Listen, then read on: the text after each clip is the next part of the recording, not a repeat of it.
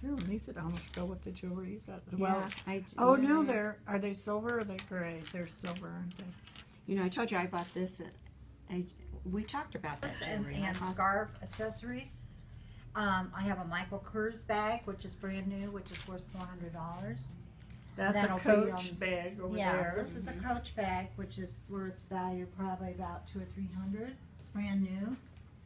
This little bag is kind of just a blingy thing, All but of someone these we have yet donated. to sort and price. Mm-hmm. Yeah, there's a lot of bags this year, mm-hmm. from what they say. I I haven't. think the thing is, is that there's something for everybody.